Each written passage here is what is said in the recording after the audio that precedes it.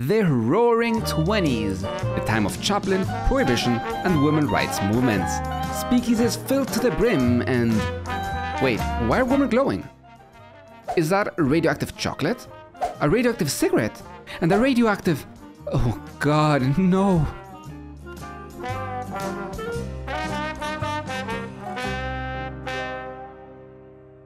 On November 8, 1895, German physicist Wilhelm Röntgen was experimenting on electron beams when he noticed a glow coming from a nearby chemically coated screen.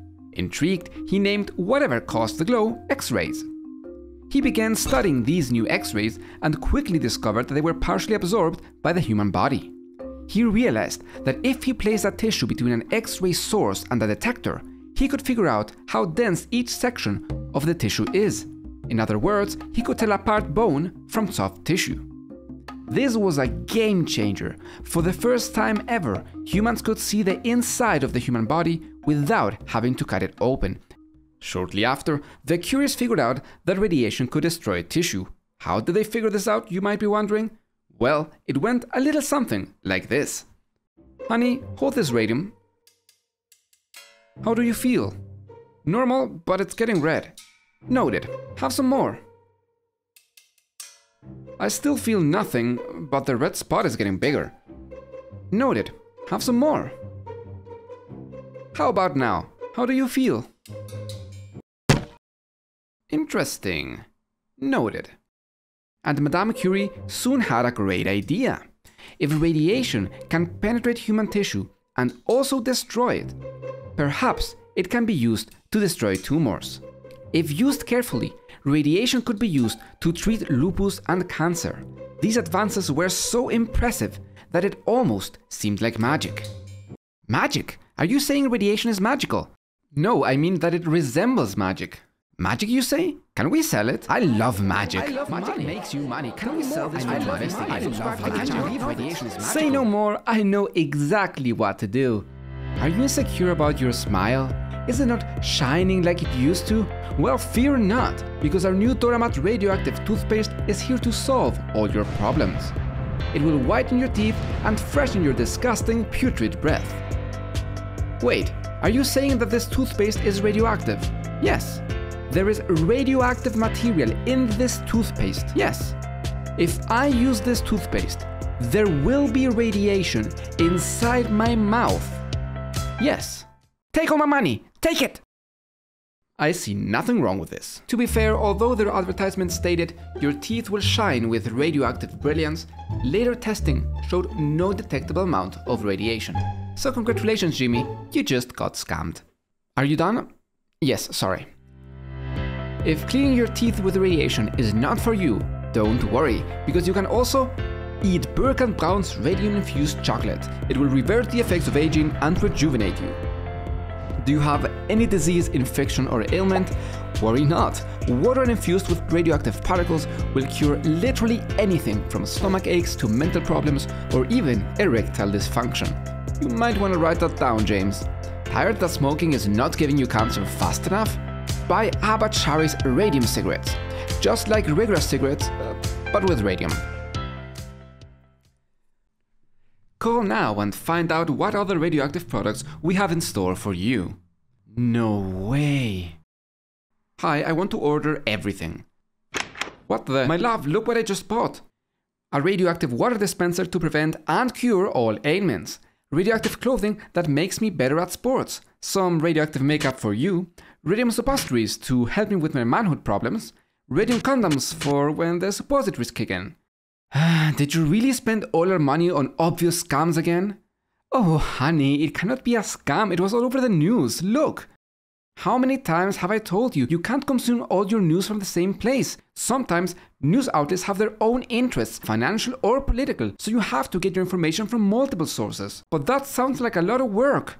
It doesn't have to be. If you use today's sponsor, Ground News is an app and website designed to overcome bias in our news consumption. It allows you to compare how different news outlets cover a certain topic. For example, in this story about Germany's far-right AFD party, you can see the political inclination of the outlets that have written about it.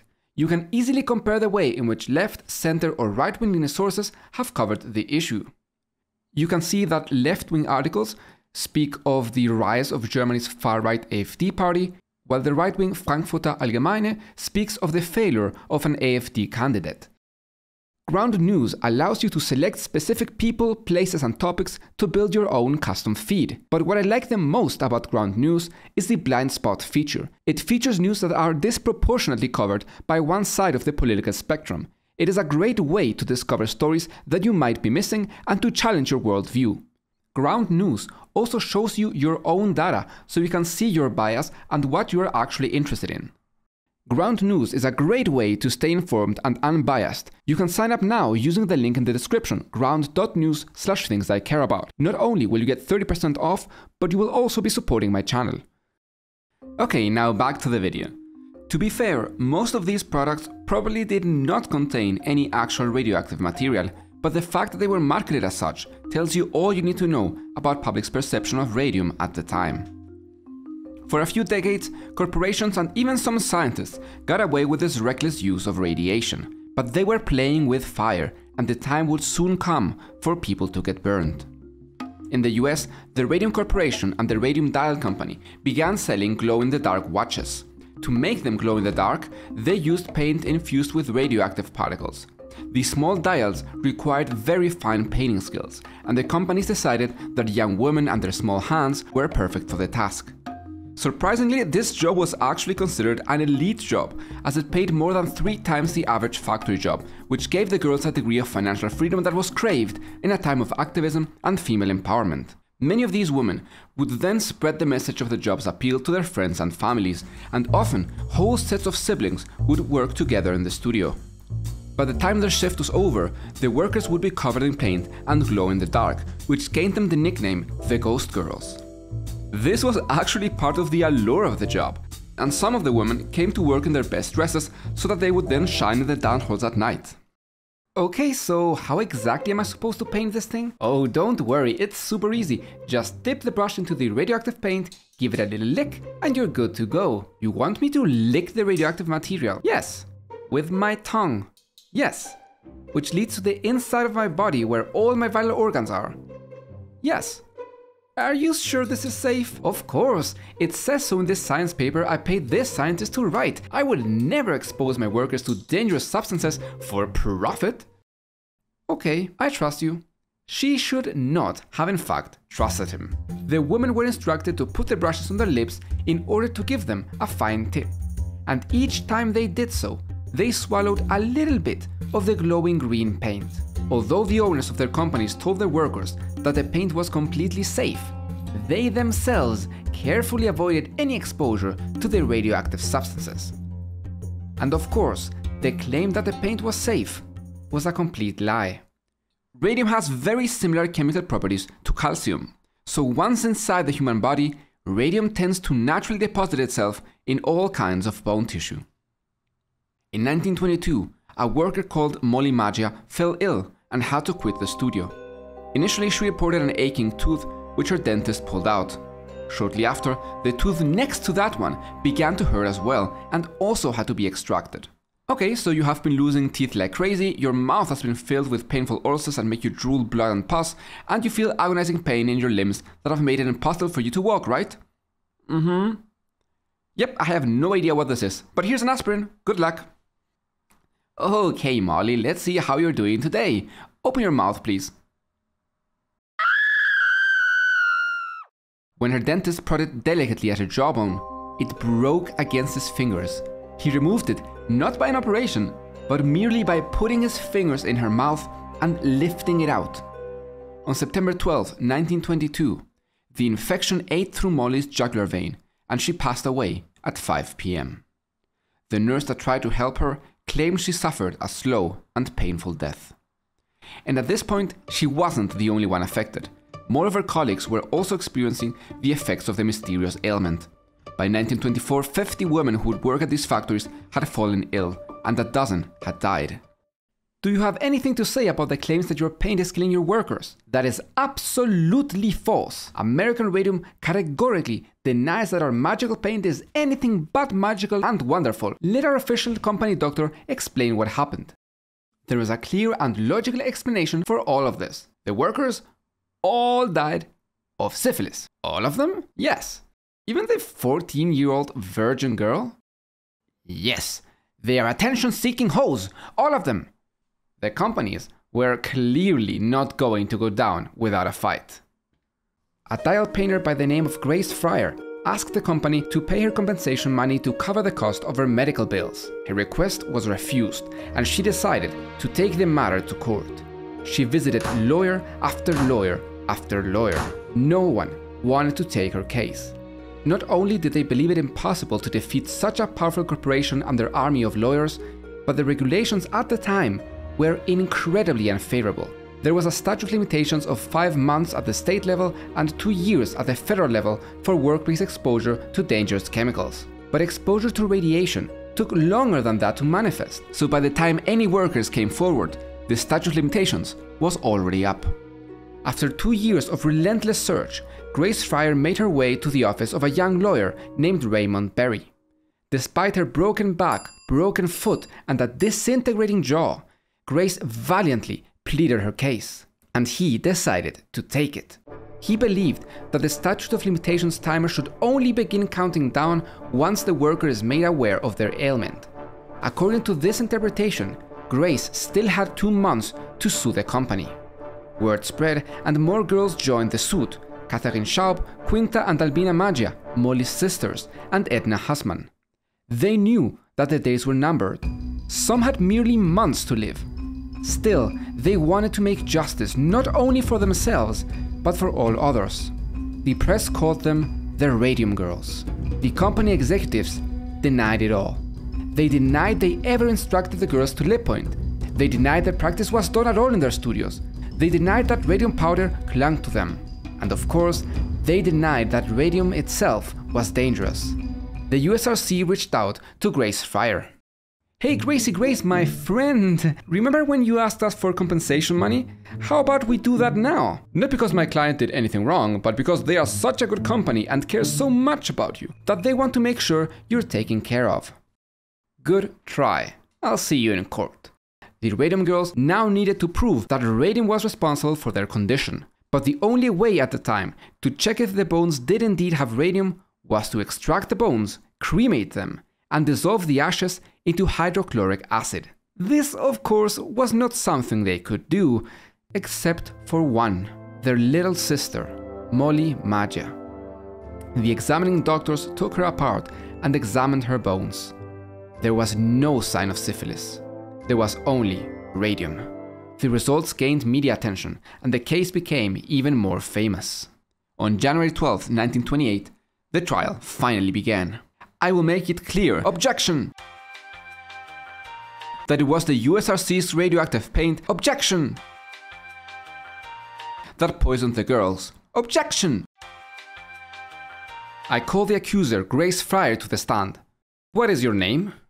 Grace Fryer. Objection! You can't object to yourself. Oh, sorry, old habits. So, what is your name? Grace Fryer. Would you then agree that Grace is your first name? Uh, yes. And Fryer your last name? Uh, yes. So Grace Fryer would be your full name? Yes. Do you agree that your name spelled backwards is Reirf Ekarg? The defense knew that the girls were tired and ill, and they prolonged the case as much as they could. Still, slowly but surely, the Radium girls were able to prove that their ailments were caused by radium. But their time was running out, and the Radium Company lawyers knew this. Once upon a time, there was a simple and beautiful girl named Cinderella. She lived with her evil stepmother and two stepsisters. Objection! How is this relevant? I'll get to it. When? This is taking too long. My clients have no longer than 18 months to live. Really? Is that so? Ring ring. Oh, uh, excuse me. Mm hmm. Mm hmm. Wow, that's so crazy. One of our key witnesses just called. He has to leave the country for 19 months, so we are forced to ask for a recess until then. What? You can't do that! Recess granted. We reconvene in 19 months. The women had no other choice but to negotiate a settlement out of court. Although their suit was unsuccessful, the case gained incredible media attention, and their experiences made the issue of radium safety a front page story around the world. But even at this point, the United States Radium Corporation denied its role even as their workers continued to get sick and die. For years, more workers unsuccessfully tried to sue the radium company. Despite massive media attention and support, no suit was successful. Until in 1938, a dying radium worker named Catherine Wolfe Donohue decided to sue Radium Dial over her illness. She testified from her literal deathbed. She was so ill that her lawyers didn't even know if she would be alive for the next hearing. Her case was aided by the death by radiation poisoning of Dr. Sabin, the inventor of radium dial paint, as well as by scientist Harrison Stanford Martland, who conclusively proved that radium paint had poisoned the watch painters. Finally, the judge found the company to be guilty, but the ruling was appealed. Again and again and again. It was fought all the way to the Supreme Court. In the end, the case had been won eight times before the company was finally forced to pay. Catherine died shortly after, and the next year, Germany invaded Poland, starting World War II. Demand for glow in the dark dials skyrocketed, but thanks to the massive media attention, not enough girls were willing to take the jobs. The US government was forced to take action and passed life saving regulations to protect workers, it ultimately led to the establishment of the Occupational Safety and Health Administration. The Center for Human Radiobiology studied the girls extensively, allowing for better and safer radiotherapies. But you won't often read their names in history books. For today, the individual radium girls have largely been forgotten. It was because of their strength and perseverance in the face of agonizing pain and unavoidable death that workers' rights improved for hundreds of millions of people. Catherine Donohue, Grace Fryer, Catherine Schaub, Edna Hussman, Mollie Maggia, Quinta Maggia McDonald, Albina Maggia Larice. These are just some of the names of the women we need to honor and salute as fearless champions who stood up against injustice not just for themselves, but for all who would follow. Let them shine through history with all that they achieved in their tragically short lives.